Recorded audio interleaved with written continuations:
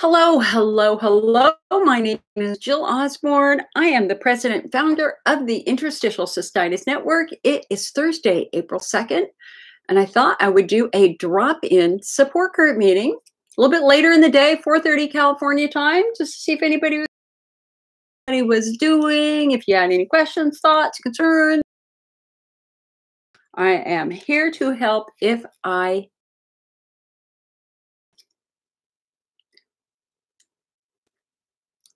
Let's see. So let's see what happens with this software, which is driving me crazy. All right. So, like, really? What the hell? Okay.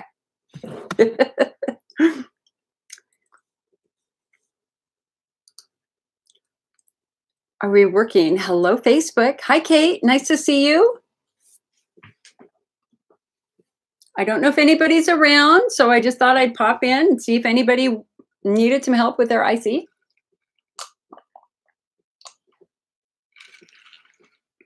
And there's a very cool new research study that crossed my desk today that I think is absolutely fantastic that I want to talk about. All right. Again, Facebook is not showing me who is coming in. This is so frustrating. What is going on with Facebook? Hello, Sh hey Sherry. Well, YouTube's working. Woohoo! I'll take it. I got to move that up. Hello, Sherry. Hi, Mary. Hi, Lorraine. Hello, Elise. How you guys doing? How is life? Hello, Iris. It's nice to see you. I know that this is an unscheduled meeting. I just thought I'd drop on. I just got back from my walk. I'm all sweaty, but that's okay.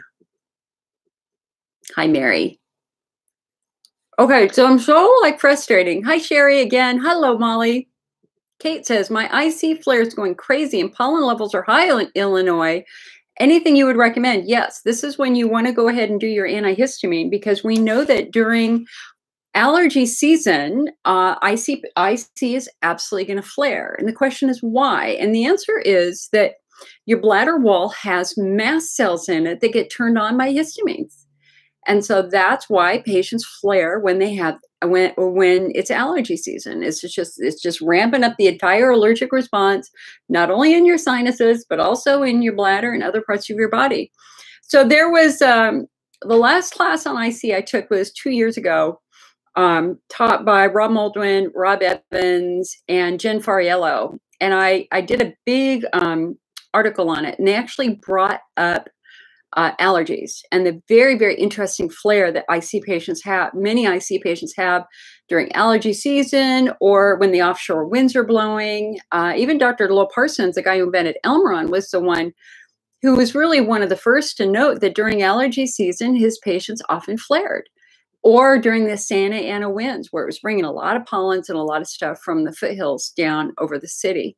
So, in that class, uh, what they suggested is that you up your allergy medicine during allergy season. And of course, you got to follow the diet, you got to protect your bladder, et cetera, et cetera.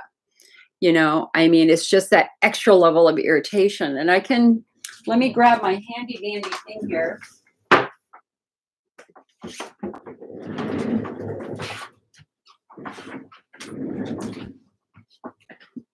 Um, hey man, you know what?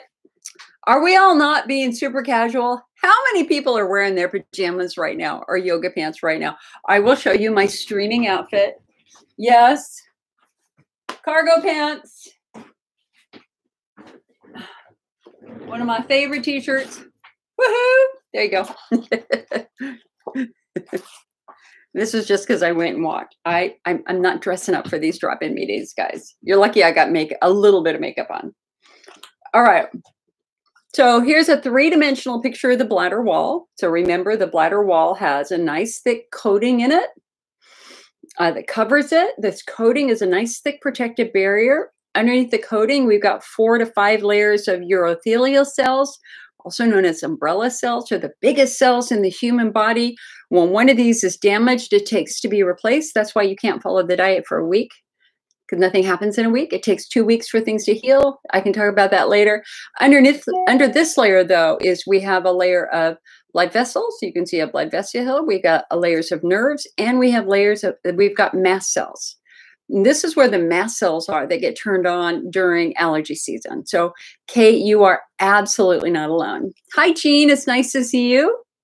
Kate says, it seems like my urethra flares when allergy goes crazy. What would you recommend as the best antihistamine? So, um, Kate, listen, I've got a really good blog on our website over on the IC Network, icnetwork.org, that is called The Seven Causes of Urethral Pain.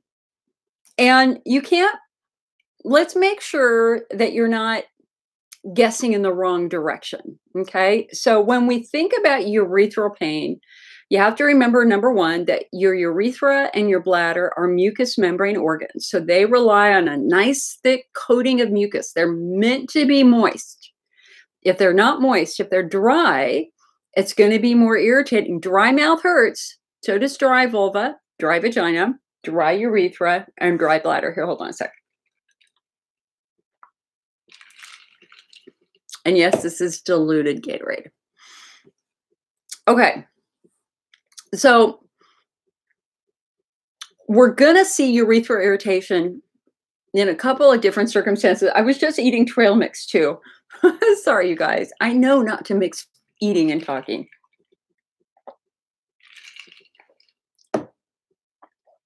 Okay. So, number one, chemical irritation. If I put on a pair of underwear, wash and shear tied within five or 10 minutes, I will have urethral irritation because my skin is dry. So don't underestimate the role that chemicals can play. If you're using the wrong laundry detergent, fabric softener, dryer sheets, those are leaving chemicals in your in your uh, clothing that will then uh, hit that skin and potentially cause a chemical reaction in that skin. And in fact, one of the things that that uh, Jen Fariello talked about in that class that she taught two years ago with Dr. Moldwin and Dr. Evans it's how incredibly important it is to remove chemicals from your personal hygiene routine. So let's make sure you're not. So, as an example, the um, the laundry detergent I use is seventh generation. That's just the one, and I don't use any fabric softener or anything like that. The second thing we want to look at also is uh, mini pads if you happen to wear mini pads every day, mini pads have a layer of chemicals in them that helps absorb fluid. And unfortunately, when that chemical gets wet, it off gases chemicals. Uh, I don't know if you guys remember, like seven or eight years ago, Always introduced a new menstrual pad that was supposed to be super absorbent. Holy hell, I tried it once and it was like I had this massive chemical burn from it. And that's actually classic, classic chemical irritation. Um, in terms of bath soap, you definitely want to use a soap that is for extremely sensitive skin, very, very mild. You don't want to use Dial. You don't want to use Irish Spring or anything like that. So the soap that we recommend is a Basis soap for sensitive skin uh, down there. That would be, uh, you know, and and in the Vagina Bible, hold on a sec. Where is that book? This is the book that came out before Christmas. It's a fabulous book. Oh my God. Seriously. As a woman, it doesn't matter what age you are, buy this book. This is the modern day version of Our Body Ourselves about women's health. And she's got a really good section in here on um, on soap and rinses. And you know, she just she just says flat out, you don't need to wash inside your body, you know, even inside your vulvar lips, but you can uh, wash along the hairline because there's a lot of oil there that can kind of get a little rancid and sticky. Uh, but you don't necessarily wash in, on your or in in your mucous membranes or over your mucous membranes. But she also talks about rinses. You know, a lot of shower gels out there are actually really irritating. Why? Because they have a lot of extra scents and other preservatives that make it irritating. But there are some quote unquote rinses that she talks about in this book that is appropriate, right? So, and I think I, have told the story of my uh, uh, the the man that I thought I would be marrying years ago, 15, 15 years ago, who I flew out to Michigan to uh, be with him because he was in Michigan at the time. And the night before I was supposed to come home, he um, he drew a bubble bath And he came out. I was on the couch watching TV, and he goes, "Oh, I made a bubble bath. Come on, come on, try it. I think you'll really like it." It was with Irish Spring.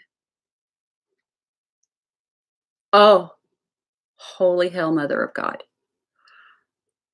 I looked at it, and I looked at him, and I looked at it, and was in my brain going, "Oh crap! Oh crap! Oh crap! Oh crap!" I'm looking at him. He's so proud of himself, and it's like I didn't want a disappointment. He's like, "Honey, get in. You really like it."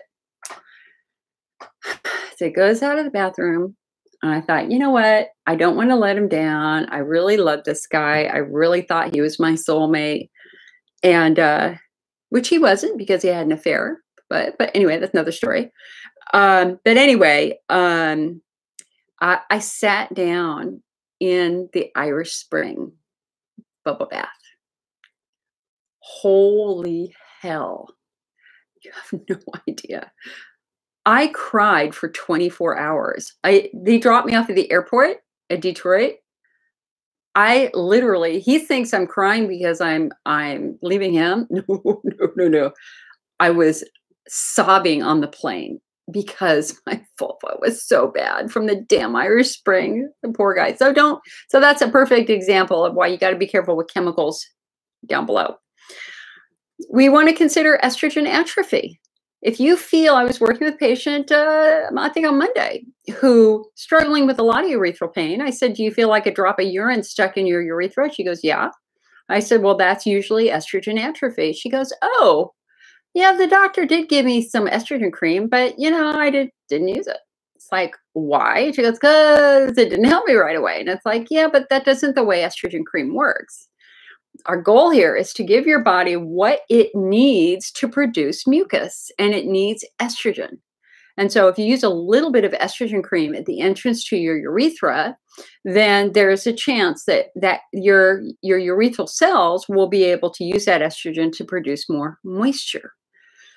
Um, another really interesting thing about the urethra is that there is a gland that wraps around it. So, you know, the male urethra is very long five, six inches, wherever. The female urethra, urethra is about the size of your little finger, right? Um, and about halfway up your little finger, on the outside of the of the tube, on the outside of the tube, is a gland called the periurethral gland. Now, the periurethral gland is in fact the female prostate gland. We have a prostate, ladies. Who knew? and in fact, the very, very first article I put on the IC network in 1994 when I built it was an article from the youth from UCLA about female urethral syndrome. and it was something like the female prostate gland. And just like the male prostate gland is somewhat notorious for becoming infected and stagnant, uh, so is the female prostate gland, the periurethral gland. Um, the drainage ducts are tiny and they're very, very easily blocked. So, what happens is some people actually get an infection in this gland. Um, and it's imagine a deep pimple. That's what it feels like. So, um, uh, uh, it's very easy to figure out if you have an infection in your periurethral gland because you basically wash your hands really well use a little bit of lubricant, and then stick your finger up your vagina about an inch and rub the front side because your urethra is in front of your vagina. So you just rub the front side. And if you feel a little painful bump, like a pea, a green pea, or a, a little painful lump, then the odds are you have an infected periurethral gland. And I've worked with many patients who've had them. And research studies are fascinating because the research studies have shown that that that gland can be infected by a lot of different bacteria and a lot of different bacterial biofilms. So generally the way they treat that because they're they're biofilm infections so they tend to be pretty resistant to antibiotic therapy what they do is what they do with men. They do they try to drain drain it. And the way they drain it is you're laying on your back they stick a dilator or something into your urethra and then the doctor has his finger up your vajayjay and then he pushes.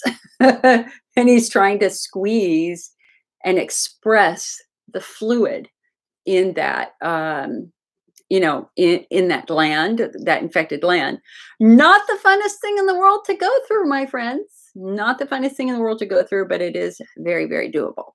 So I think I, I think over 25 years, I probably worked with, I don't know, maybe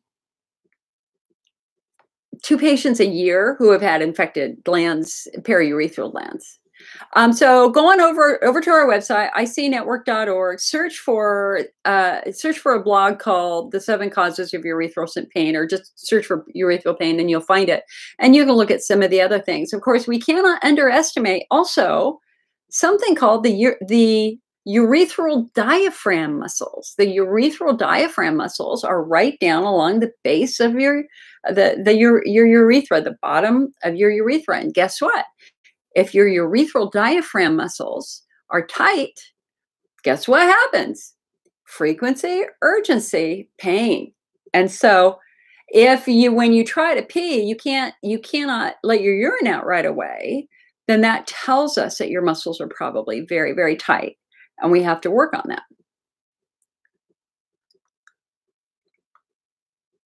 Hello, Christine. Um, so, um, uh, what would you recommend as the best antihistamines to take? Uh, hydroxyzine. Atarax or Vistaril, preferably Vistaril, is considered the best antihistamine used by IC patients in research studies. It's the most common one. It's mentioned in the American Urology Association guidelines as a therapy for IC, as a step two treatment option. I took it for 10 years uh, and I found that medication particularly helpful. One of the things I like about hydroxyzine, it has a very nice beneficial side effect. It has an anti anxiety effect. And you know, I'm sorry. Hey, man, especially now, in 2020 with this freaking virus. Seriously, raise your hand if you got anxiety. I've got anxiety. I was just walking and I had my mask on. And, you know, you're like looking at people walking towards you. So you cross the street and you pray they don't cross the street. And then up behind comes a runner, like three feet away from you, puffing. And you're going, oh my God, can I walk in peace? Please, can I just walk in peace and not have anybody breathe on me? I'm going to stay on my little court. I'm not going to go down into the neighborhood, I don't think anymore. It's just, oh, stress level. So, anyway, hydroxyzine has a nice antihistaminic effect. I mean, uh, anti anxiety effect. Kate says, comfort is key. Carrie says, are there allergy meds better for IC patients to use than others? Again, I think the hydroxyzine is really the best one. Um, however, in the class uh, on IC where they talked about it, they also mentioned Montelukast for patients who struggle with asthma. Um, they suggested that patients who have worsening asthma during uh, during um, allergy season consider adding Montelukast. And um, let me see if I can find it here. Hold on a sec. Hold on. I just totally moved all my magazines.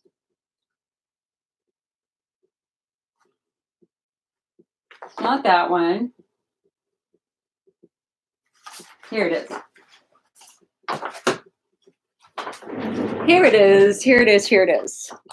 So this was my summer 2018 IC Magazine. And generally, we do a really exhaustive summary of the classes that are taught on IC at the American Urology Association. And um, um, yeah, this is it for sure, 100%. So if you're a member of the IC network, you can just go right into onto your member page and download this. It's free.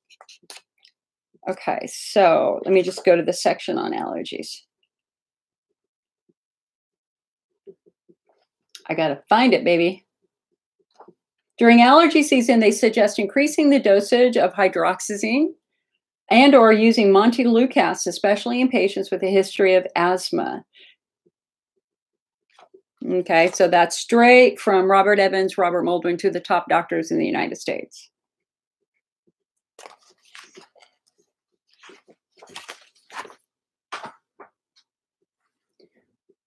Uh, Molly says, I've been waiting for delivery for 5.5 hours. I've called the pharmacy. They're trying to find out what went wrong. Meanwhile, I'm having anxiety attacks. Lots of deep breathing, honey. Come on, lots of deep breathing.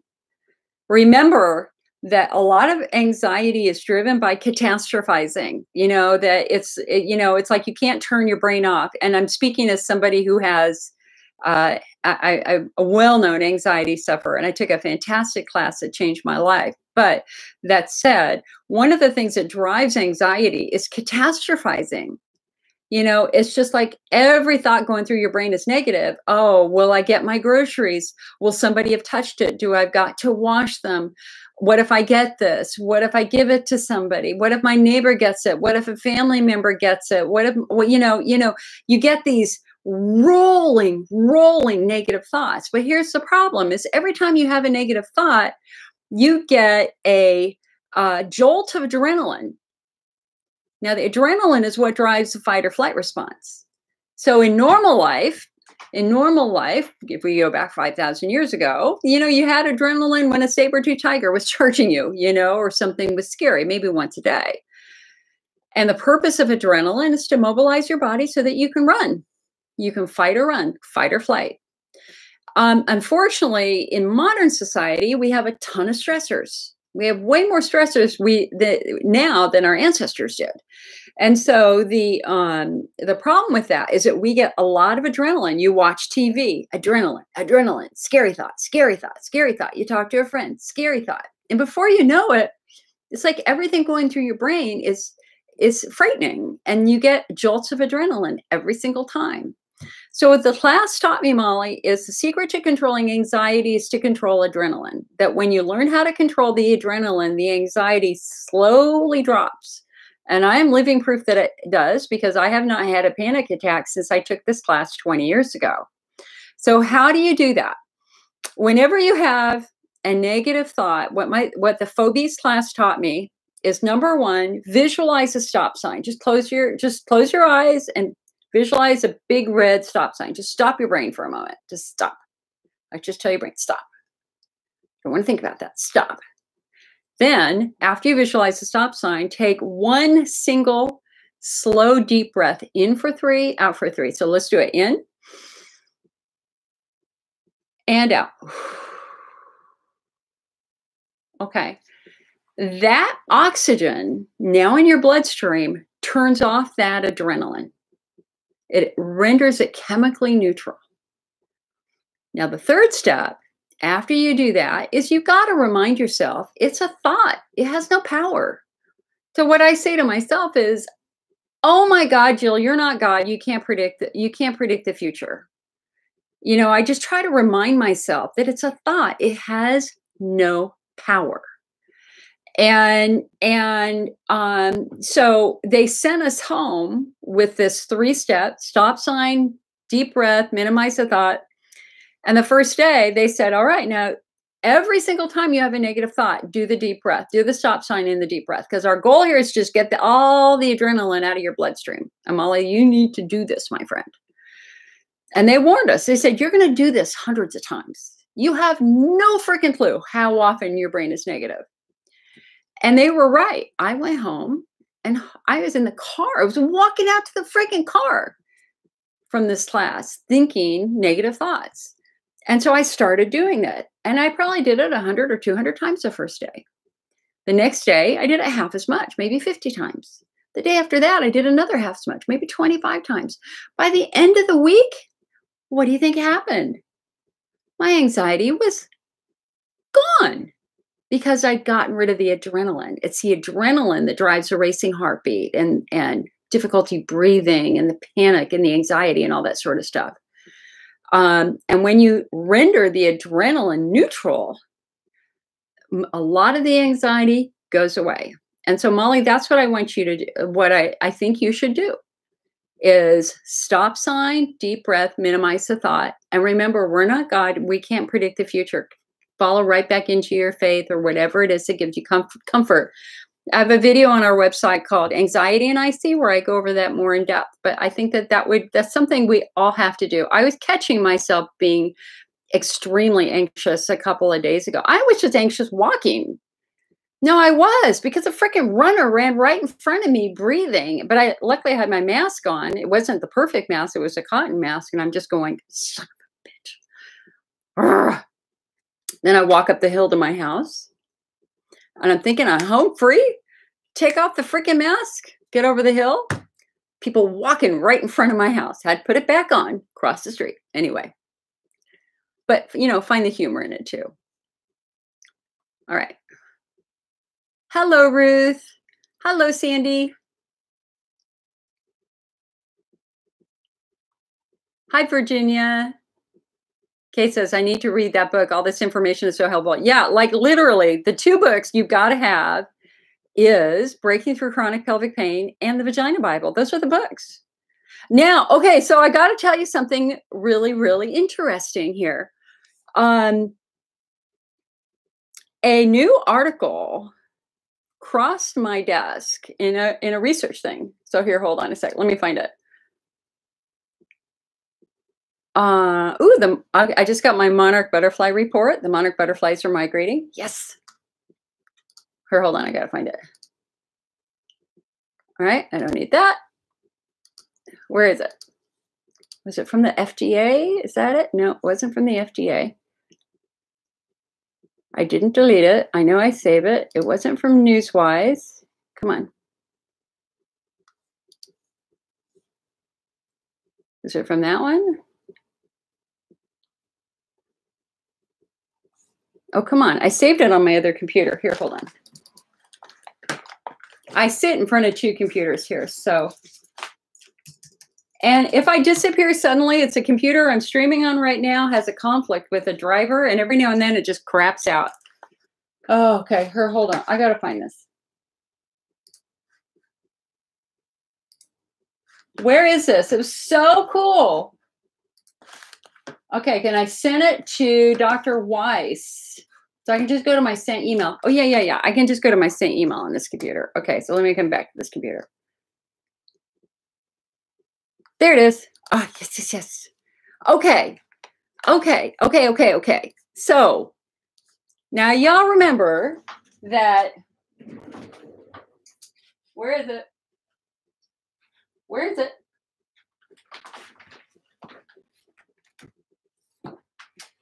All right. Okay, now now y'all know, y'all know I have been talking about this book for a couple of months now. And one of the things that Dr. Weiss talks about, so remember we have our subtypes. Not everybody has bladder disease. Quite a few people, a lot of people have muscle issues. We we know that for sure. Here, let me fix this. So I'm looking forward. All right. So we know that there are muscle issues that drive bladder symptoms. We know that. We know if your urethral diaphragm muscles are tight, you're going to have frequency urgency. We know if your levator muscles are tight, you're probably going to have frequency urgency. Right? Eh, but so, but remember the problem with western medicine is that it's very compartmentalized specialists stay in their box, urologists stay in their box, uh, the urinary tract gynecologists stay in their box, et cetera, et cetera, et cetera.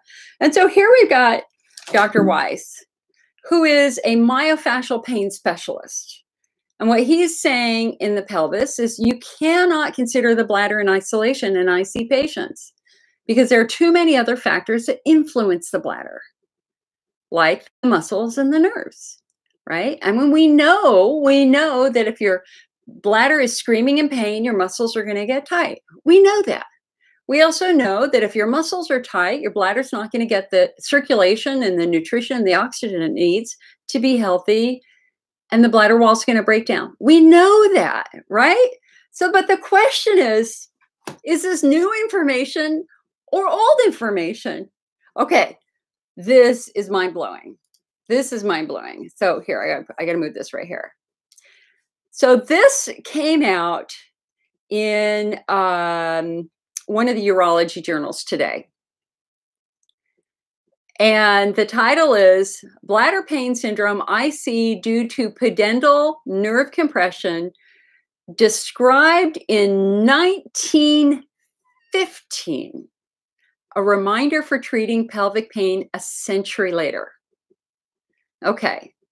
So here is a doctor during World War One who sees a very clear connection between nerves and muscles and bladder symptoms. So I want to read this to you. This is fascinating. I got to buy the whole journal article, but this is the abstract.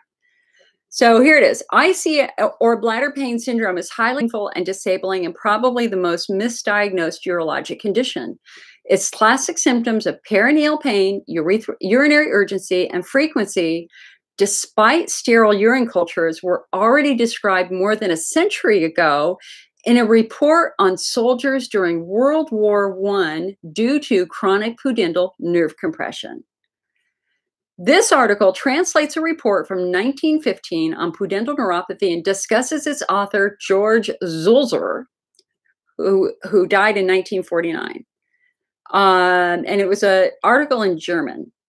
In his article entitled Irritation of the Pudendal Nerve, a frequent clinical picture during war feigning bladder catarrh, which means having, uh, uh, oh, what's the right word for catarrh? Okay, I'll look it up.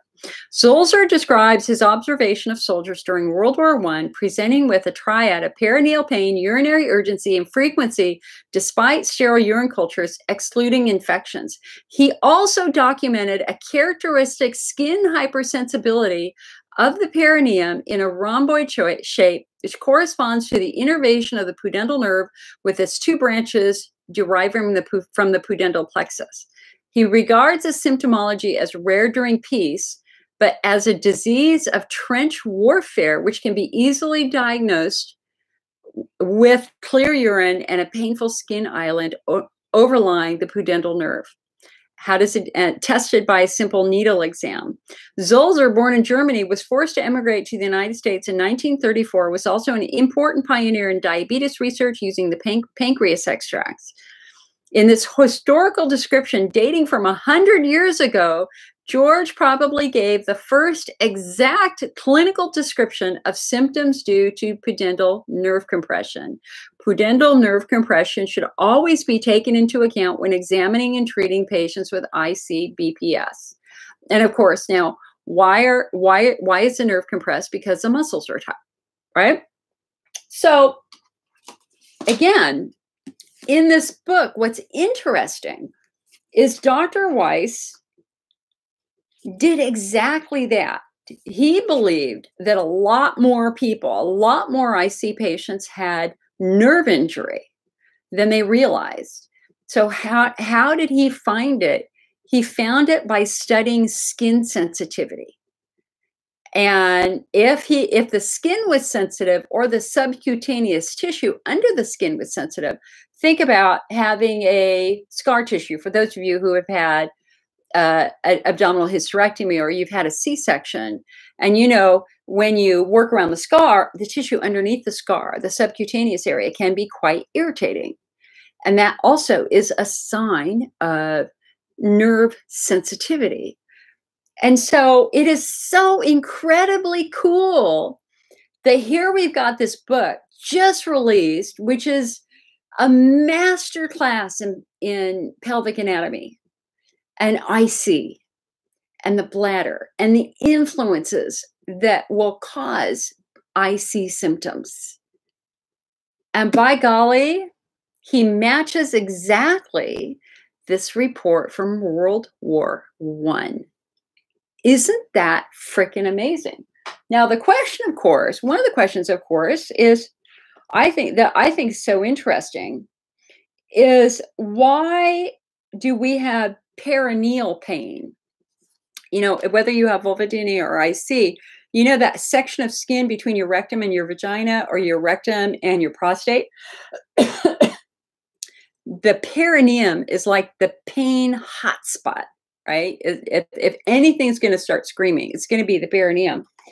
And one of the things he talks about in this book is that the perineum is actually, there's something called the perineal body right underneath the skin, which is an attachment point for four or five muscles. So if the perineum is painful, that's probably because you've got a muscle that's pulling on the perineal body. Fascinating. Fascinating. And that's just allergies, guys. It's just allergies. You don't have to worry.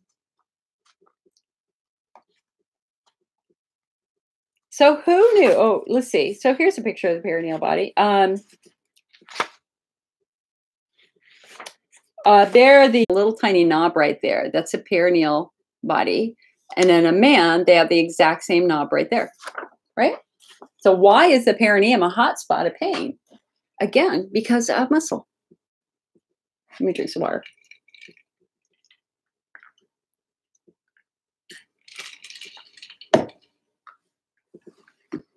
All right. Let me check in with YouTube down here. Becky says, I really like Honest Beauty Eczema Body Wash. Never heard of it. Hi, Ferdinand. Ferdinand says, I've had IC since 2000. I'm a 62 year old male. When can we expect a medicine? Also, my urine is, turns a dark color. All my CBCs, FBC, and creatinine all normal. I'm presently in the Philippines, but I'm from New Jersey. So, uh, so Ferdinand, it begins with your subtype you know, we can't really have a good discussion about therapies until we really understand what variation of IC you have. Do you have a bladder wall injury from chemotherapy or from ketamine or from a terrible diet? Or do you have a muscle injury uh, from falling, being a bike rider, being an athlete, anything at all like that? Um, and they're treated very, very differently. I will tell you that 95% of the guys that I work with, when we spend time, when we go back in time, we usually find significant recurring pelvic floor trauma. And it's that muscle trauma and nerve trauma that then causes the bladder wall to break down and to give you the bladder symptoms. What makes you unique though is your urine is a dark color. That's what you got to figure out. It sounds like normally that happens if your urine gets dark, dark yellow or brown then you're dehydrated. You're not you're not hydrated. Your urine is too strong. But there might be other reasons why your urine is dark also. Um, and that if that continues even if even if you're drinking plenty of water you've got to talk to your doctor and make sure they rule out any other thing that could be causing that Elise says, stress worsens my IC. I've had terrible pain in the last two weeks. I can feel that my pelvic floor muscles are super tight, so I'm trying to find ways to relax them. Heating pad, my dear.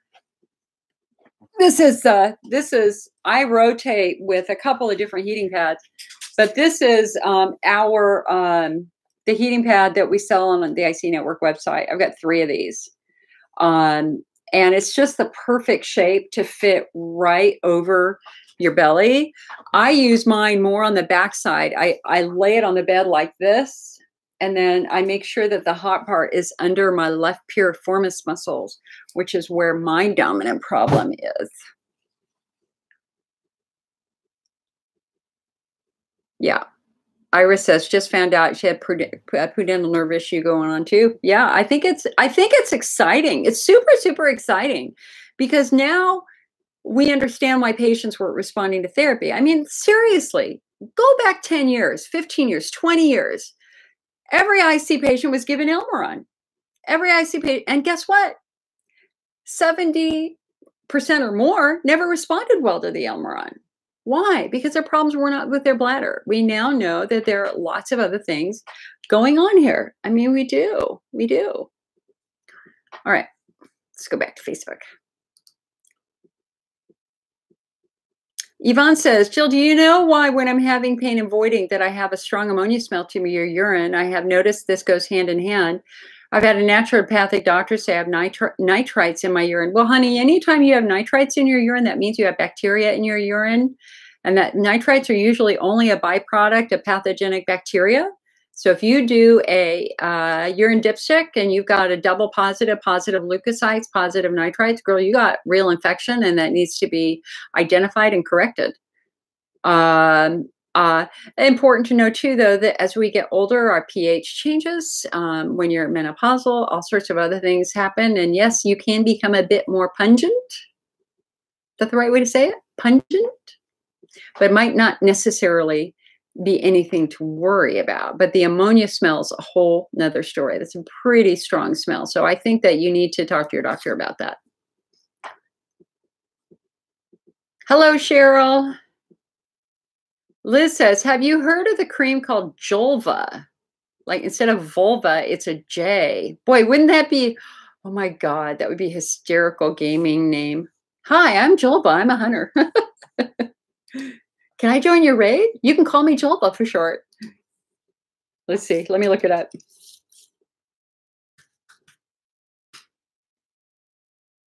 I have funny gaming names, so when I play games, Julva, a cream for our delicate feminine parts. Let's see. It's a natural cosmetic cream. Hmm. Okay, stop it with the sign up button. It's all natural anti aging cosmetic cream for your delicate feminine parts. Created by a triple board certified OBGYN. Moisturizing, repairing, rejuvenating. Well, what the heck's in it? Ingredients. Well, it. Uh, oh, okay. So it's um, coconut oil a botanical base, vitamin E, shea butter, emu oil, water, glycerin, a little bit of alcohol for antimicrobial effect, and alpine rose stem cells. And you just apply it to your vulva clitoris. So that's really not that different from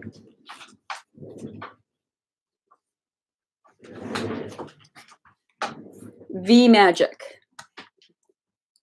So V Magic is also an over-the-counter product that is used for women who struggle with dryness. And in V Magic, you've got extra virgin olive oil, avocado fruit oil, honey, uh, beeswax, um, and sea buckthorn oil. So, I mean, but honestly, if you're dry, you can just go get a tub of coconut oil and it works quite well.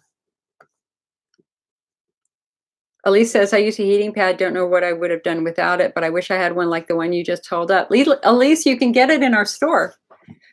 I think it's like, I mean, listen, it's it'll last for 10 years. It's so it's so durable. I have again, I have three of them. I've had them forever. We've sold heating pads forever. They're made by uh, a small business here in uh, California for me. Um, and they're all lavender now. They're not brown anymore. That tells you that that's an old one. Uh, they're lavender. Sometimes they're turquoise, but most of the time they're lavender. Um, just know that it's heavy, and it and so. Well, let me just let's see how much it is. Hold on a sec.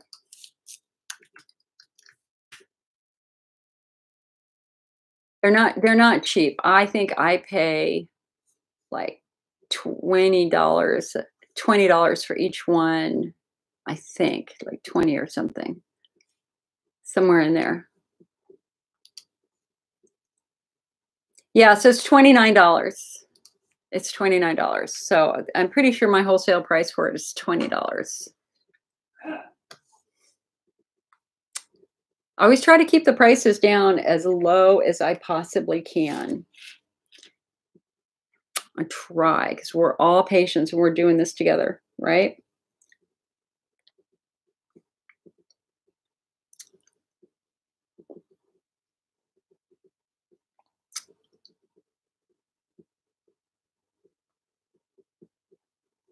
Christine says, I take Allegra. It's hydroxyzine better? I mean, it's just about finding what works for you. If you're doing fine with the Allegra, go for it. If you're not where you'd like to be, then go ahead and try the hydroxyzine too. Okay, please tell me never to eat while I'm streaming.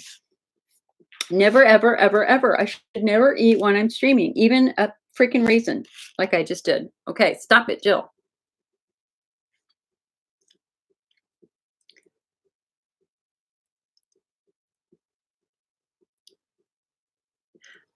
Uh, Laka Laka says, was diagnosed three months ago with moderate IC. You had a car accident in December 2019. Had a lot of coccyx pain after the accident and thought that with time it would be, have, could this be the trigger for your IC? Absolutely. There's no doubt in my mind it is the trigger for your IC.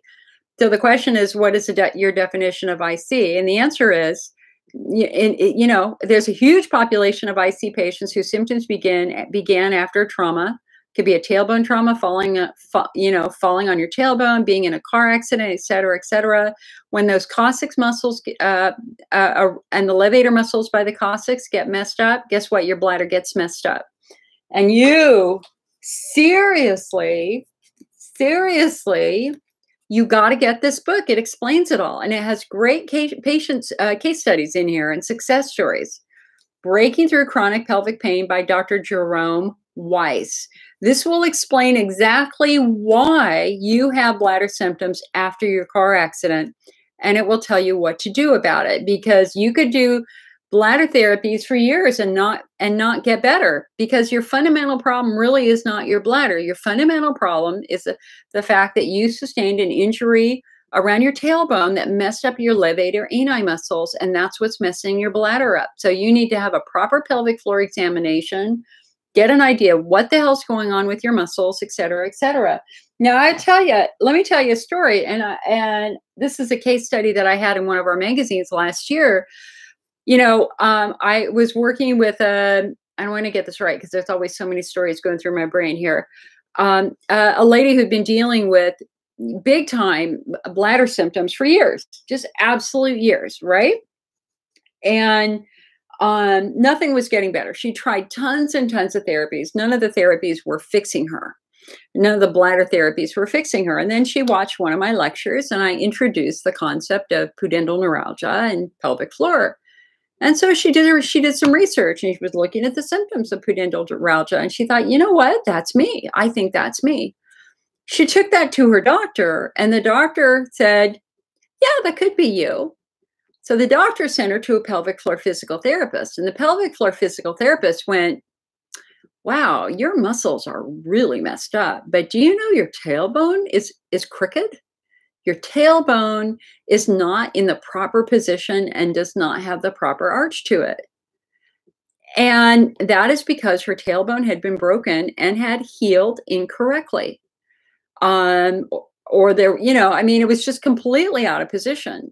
So then I don't I, I don't remember correctly. You could go back into our magazine and you could find those, uh, whether they did an MRI or whatever. They clearly saw that her tailbone was either crooked to the left, crooked to the right, or was straight instead of curved. Because your tailbone is supposed to be kind of slightly curved, right? A little bit curved. Hers was straight and crooked. So we knew her tailbone was screwed up. And so what happened then is she actually went to a chiropractor and said, Is there any way you can help me with this weird tailbone that's not in the right position? and she start and and i'm i'm i'm very wary of chiropractic. I'm working with another patient who has a terrible spinal injury from chiropractic done wrong. Okay but that said in this patient's case they were working in the tailbone area and it took about nine months but what do you think happened? They got her tailbone corrected and her symptoms went away compl- almost completely and she had a baby and she's quite happy now. So she went from being completely non functional and terrible pain eh, to having a baby, being really happy with her life, very, very few flares. And when she has a flare, she knows it's related to her muscles and her bones down there. She goes right back to chiropractic to fix that bony structure. So, Laka Laka, I think that that's something that you've got to be aware of. With your car accident, did you suffer any breaks, any major trauma? Do we have scar tissue down there? Anything at all like that? You have muscles tied on one side that could be pulling your pit, your tailbone out of position. That's absolutely possible. Okay, absolutely possible. And so, again, breaking through chronic pelvic pain by Dr. Jerome Weiss must be your required reading. And I want you to read it and I want you to ponder your injuries. The first four four chapters are all understanding anatomy. It's a master class in pelvic anatomy. And so as you're reading this, I want you to always be thinking about your injury from that accident. Because he talks he also talks about a car accident. One of the case studies in the in this book was a, a I, I think it was like um, a um, a, a front end collision where the legs of the of the driver or whoever whoever the case study was they were hit suddenly and the pressure of the legs pushed directly back into the pelvis and messed the pelvis up and um and so there were definitely consequences to that to that accident and that but they were able to eventually figure it out and get it addressed and okay? So i hope that makes sense. I hope that that makes sense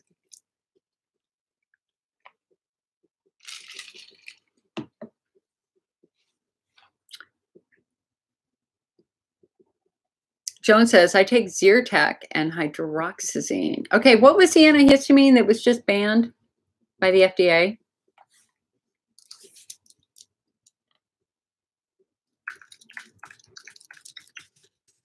Also, montelukast, which we talked about for allergies and asthma, also had an FDA alert about causing some serious mental health. They just pulled. Like yesterday, they just pulled an allergy one off of the uh, market.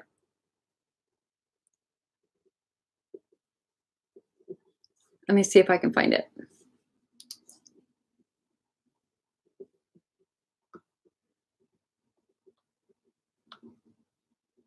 What was it?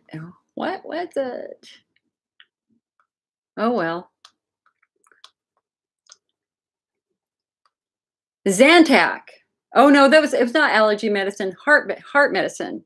You said Zyrtec, and that triggered triggered that in me. It was Zantac. It's not an allergy medicine. It's uh, for your stomach. That has been pulled from the market. Kristen says, my son used to take montelukast. He has asthma, and so do I, but mine is mild. So, um, Kristen, if you're still taking montelukast, make sure you look up the FDA warning about that because what they found is that it appeared to trigger some mental health issues. And so, for patients who are already struggling with any me mental health issues, it just exacerbated it. Gina says, "You are you are a breath of fresh air during this unsettling time. Dr. Evans is my doc. Glad to hear about the allergy asthma med from him."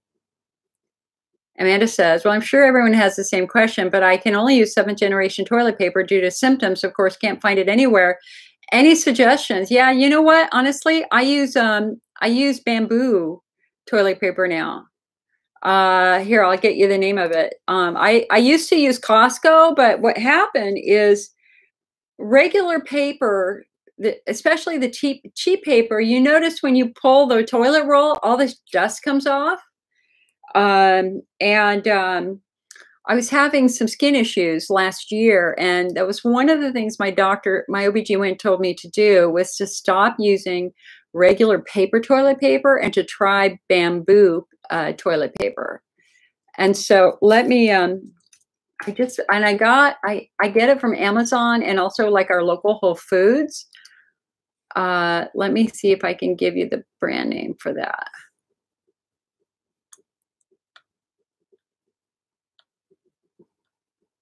Amazon is getting rich off of this. Let me tell you.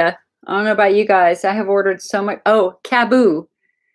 Caboo Tree Free Bamboo Toilet Paper, which is a septic safe, biodegradable bath tissue. And what's interesting, there's no dust. The dust doesn't come off of it. I really, really like it. So Caboo, C A B O O. But there are other brands that do. It's just a, it's just a bamboo rather than a paper toilet paper. Hi, Denise. Nancy says, Are you not concerned about hydroxyzine anticholinergic effect causing dementia? Uh, yes, we would be, especially in cumulative patients. However, the last study that came out about it last year uh, actually found that the antihistamines were not apparently the cause of the cognitive decline or dementia, that they that they backed off on the warnings about the antihistamines, but they kept the warnings up for the for the low dose antidepressants, et cetera, et cetera. So Nancy, if you go back on our website, I'm going to say like six months ago. That was like six months ago where we and I can dig to find it if you want, just not right now. But it was another study, I believe, from England where they found where they were assessing the role of anticholinergic medications and its contribution to cognitive decline and dementia and Alzheimer's might have been three months ago. And in that study, the the antihistamines were not linked to the same degree that the antidepressants were. And also, the ditropans, the detrols, the anticholinergic um, uh, bladder spasm medication are also strongly linked to cognitive decline and dementia. And I think, if I remember correctly, that if you used it every day for three years at a certain dosage, there was like a 50% increase in the risk of dementia.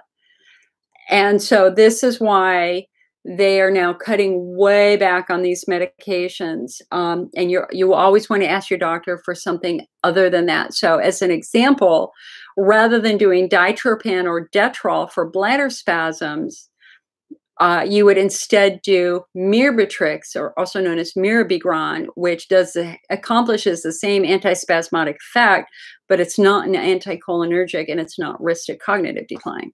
That said, unfortunately, it's much more expensive. And I was talking to Robert Evans, Dr. Evans, about this. We actually exchanged email about this last fall, and he said it's a it's a real tragedy that we know that these anticholinergic medications can absolutely change somebody's brain and yet the insurance companies won't cover the safer medic- medicine that the insurance companies are forcing doctors to prescribe the more dangerous medication which is amazing that's something he was really quite upset about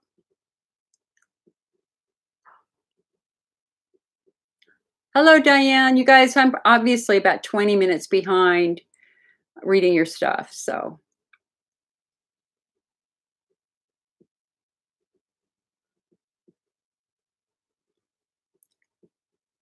Hi, Karen. Another thing about hydroxyzine, though, is it, it changes, it can change your dreams. It's we call them hydroxyzine dreams uh, where if you're having a happy dream, it becomes a joyful dream. If you're having a good sex dream, it becomes the best sex of your life dream, like with me with three movie stars. That's it's true. That's true. Hydroxyzine really gives you fantastic dreams. And you know, we are occasionally do have sexual dreams, and I did, and it was three cowboy movie stars. it's true. It was Kevin Costner. It was somebody else and somebody else. Thank you, hydroxyzine. I still remember that dream like 20 years later. Okay, but if you have a nightmare, it becomes a night terror. And that's why I stopped it, is it finally started giving me nightmares. And they were really, really violent, aggressive nightmares, like watching my family be stabbed in front of me. And I was just like, I'm done. And we literally within 24 hours of stopping the medication, the, the nightmares went away. Robin says lemon balm has been helping her. Awesome. Lemon balm is a mint. It is not citrus lemon. It is a mint with a lemony scent, which is known for being somewhat calming and soothing to nerves. And so that lemon balm's helping you, I think is great. Lemon balm is also in a product called Cysto Renew. You can grow lemon balm. I've got lemon balm out in my garage.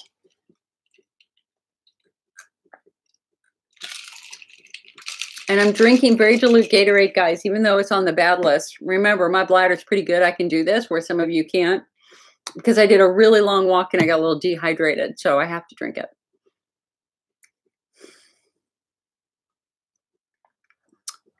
Gladys says, I've been in a bladder flare for two weeks. My Botox was canceled. I'm so depressed over it. So um, I was reading an article yesterday, last night uh, published um, in one of the journals or one of the urologist newsletters, and they were talking specifically about how COVID is affecting your uh, urology clinics. And basically, the rule of thumb for urology clinics is you're only going to treat cancer. You're only they're only treating cancer, life-threatening events, maybe infection and or severe pain. Pretty much every other procedure is being canceled or cut way back. Um, uh, they predicted that only the large clinics were probably going to be able to stay open, that many of the smaller uro- uh, urology clinics are closing and they're laying staff off. It's a rare urology clinic that can't afford to pay employees for a long period of time, or they're cutting back to just a, a certain essential few. Um, some clinics are locking their door and you have to knock on the door to be let in. They don't want people to congregate.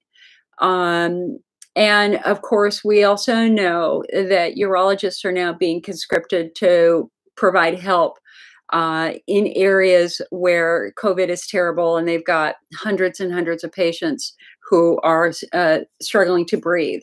And so you should not be surprised if your, uro- your urology clinics are canceled. Um, if you used to go to the urology clinic to have a rescue instillation, you what you could do is ask if they will uh, teach you how to do a home instillation so that you can do it from home.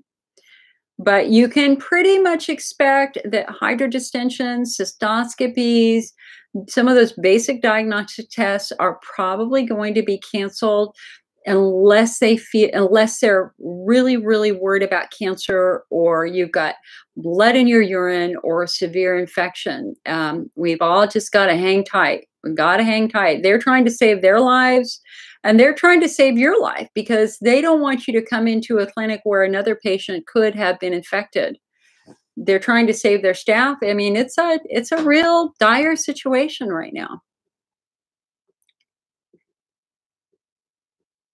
Sherry says, Your daughter is in Qatar on deployment. Would you please thank her for her service from us, Sherry? I would love for you to tell her that the IC community is so grateful for her service. Gladys says, I'm going to try a video call with my urogynecologist and see what he can do for me. So we would hope, we would hope that this would be a time when a doctor might lighten up a little bit on on restricting the use of opiate medication in patients who are in severe pain. If they cannot see you, if they cannot give you your rescue instillation, I think it's perfectly reasonable for you to say, well, what can you do me? Can you, for the short term, perhaps give me some Norco to help with this pain? That's not unreasonable. I, I don't think that that's unreasonable. I don't know what they would say. Hello, Sarah from Australia.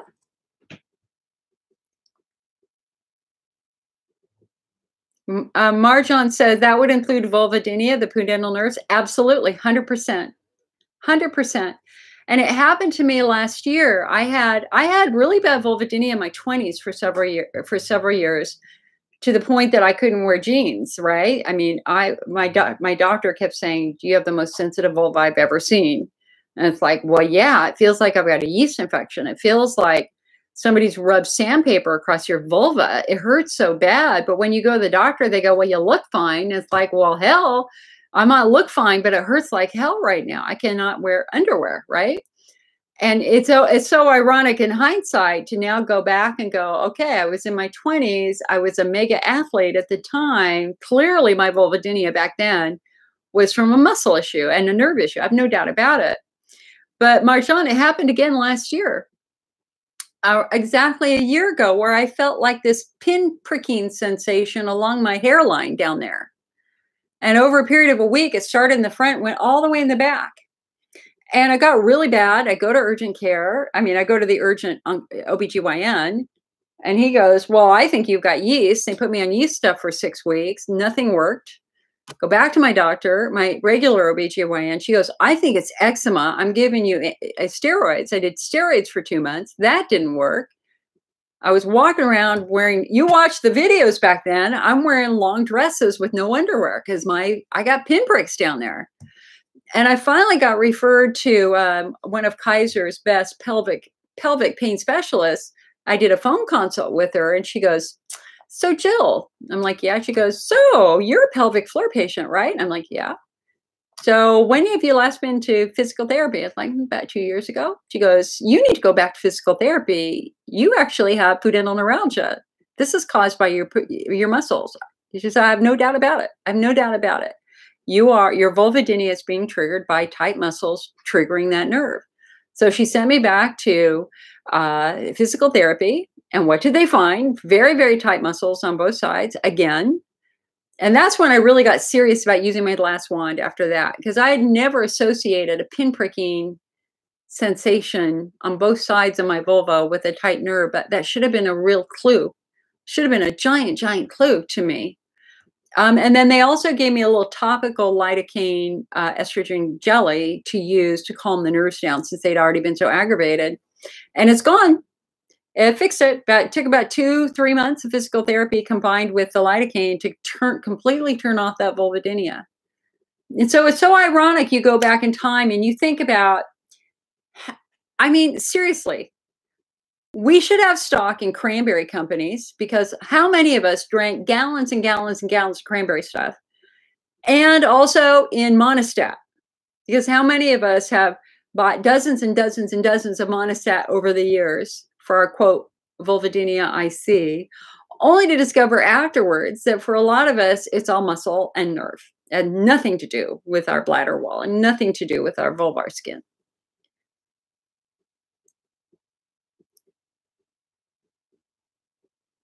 Lauren says the Perry cul-de-sac is involved. I know uh, you're. that's, your spell checker run amok. I don't know what you were trying to write there. That's funny. The Perry cul-de-sac.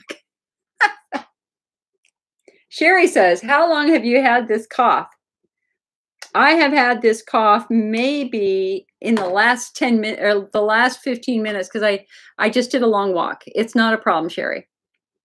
I do not, this is not a chest cough.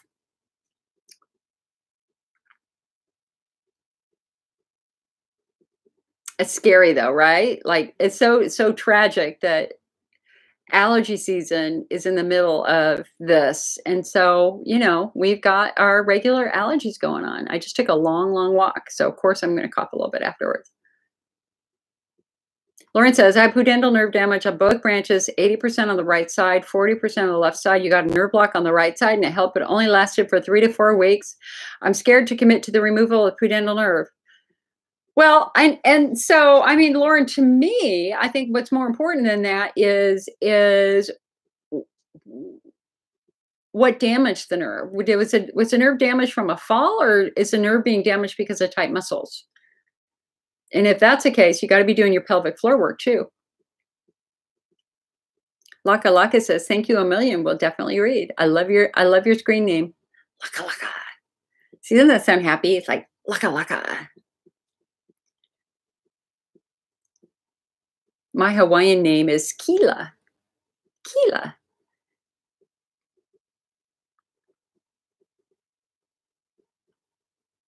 Sharon says, the doctor's treating me for IC, doing catheter meds, 12 treatments, stopped the burning after six treatments, but still have pressure and urinating a lot. Well, keep it up, hun. Keep it up. But remember, you are an anatomical mystery to be solved. It's your job to try to figure out what subtype you are. Are you bladder wall versus pelvic floor, etc.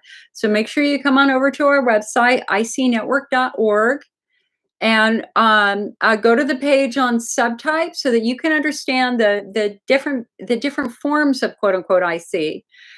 You know, a one treatment fits all doesn't work for everybody. One treatment fits all approach. That we're all very very unique and different. For me, my ICs uh, manifested by tight muscles on my left side, associated with my piriformis muscle, associated with my SI joint, and the fact that I have scoliosis.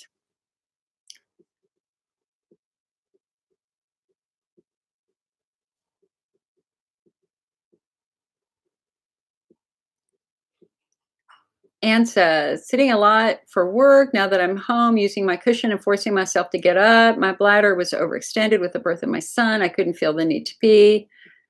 Yeah, girl, you and Billy, I hear that all the time.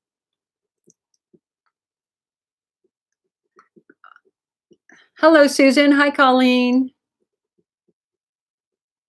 Lynn says, I've recently recovered from coronavirus and it really bothered your bladder. Ooh, now see, that's something we don't know yet. I mean, we we don't know. It, I you would be the first IC patient that I've talked with who's recovered from coronavirus, and it would be really useful if you could write up your symptoms and what happened with that because I would love to pass it along to the top IC doctors and see and to let them know that this is happening and maybe we can develop some data. I mean, we certainly know that viral infections can affect the bladder, but we don't have now I will just say this that I was looking at the research studies to uh, um, about two three weeks ago where they were trying to see where where you could be exposed right? Was it in mucous membranes? Is it in in your bowel movements and and or is it in your urine and the last study that I read showed they did not find any coronavirus in urine, but they did find it in bowel movements.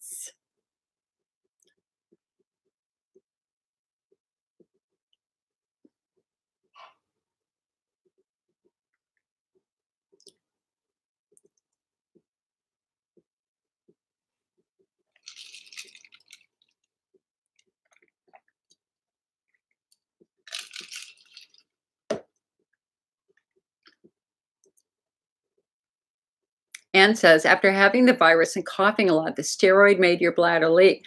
Actually, it was probably the coughing a lot that made your bladder leak because it's the coughing that messes with your pelvic floor, right?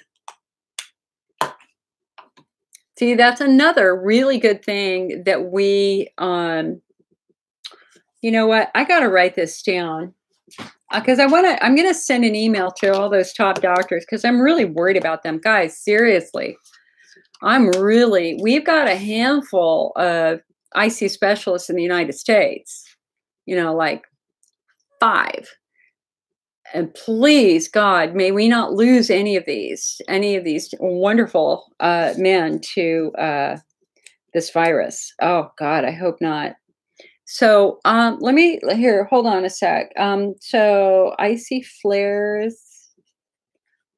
Um, so who so who that was who told me that they were just getting over it?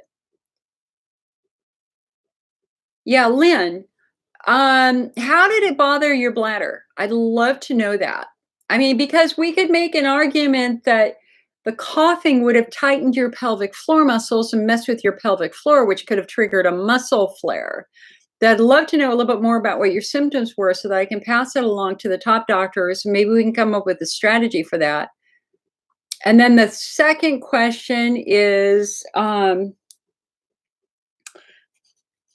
we should we should do something on coughing yeah. I'm building a new section on our website right now.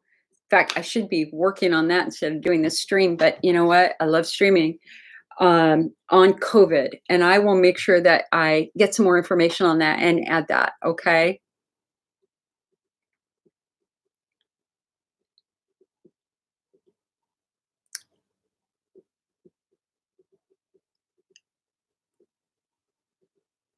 Lynn, I'm going to write down your name um, because I might want to get back to you here.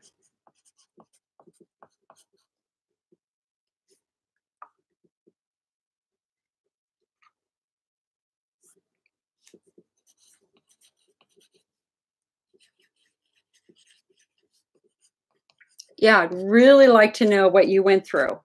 I really would because I want to help other people and you could help a lot of people and kind of preparing them.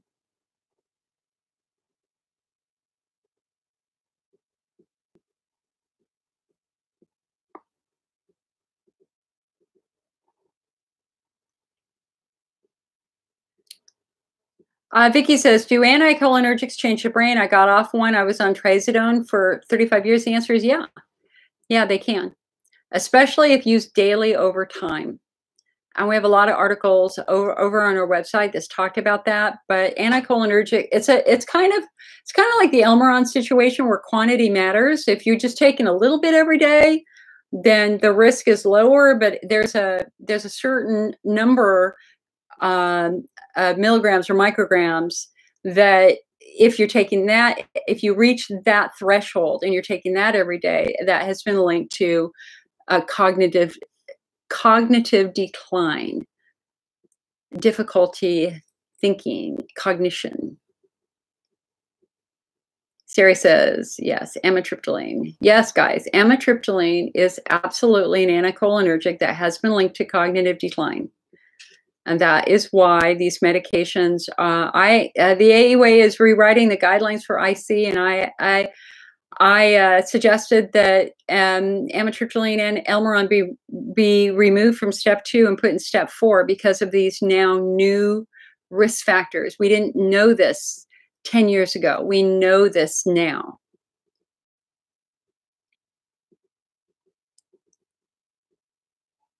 Robin says one silver lining with COVID, the toilet paper is flying off the shelf so fast it doesn't absorb the perfumes in the store. Wow, girl, you are super sensitive. If you could, if you could do that. Angie says her spine injections were canceled. Yeah, yeah. I was hoping to do prolotherapy on my on my uh, ligaments by my SI joint. That's off for probably a year, and we got to try to, you know, fix this whole hole in my jaw thing and that's going to be another year. I won't be able to do anything on that for a year. Thankfully, it's a lot better. I had oral surgery a month ago.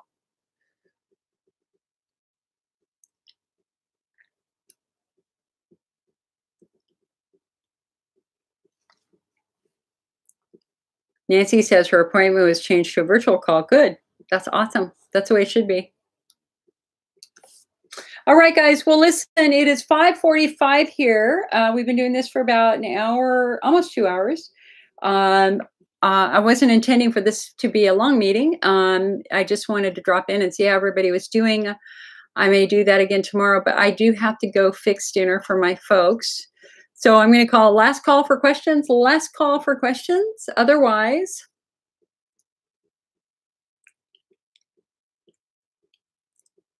what is it? Oh, no, no, no. we have to do this, right? Wait, wait, wait, wait. How do you do the heart symbol? Is that right? That doesn't look right. That it? Okay, but my fingers are crooked. I can't do it. Okay. Live long and prosper. How's that instead?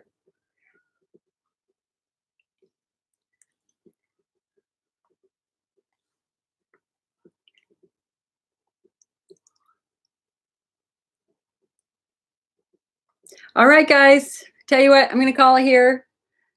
I will see you again this weekend, but you may even see me tomorrow. And just uh, just know that sending lots of love and support and hugs your way. We're getting through this together. We rock. Man, listen, this is one thing about the IC community is we rock. We really help each other. We are going to do this. Carry hope in your heart, my friends. Carry hope in your heart. All right, guys. I will see you later. Be good. Making burritos, mild burritos with flour tortillas or corn tortillas, ground beef, refried beans, and low fat cheese. No avocado. No tomato. All right, because I don't have them. Okay, see you later. Oops. Oh, well, I'm trying. To, I'm I'm really trying. Okay.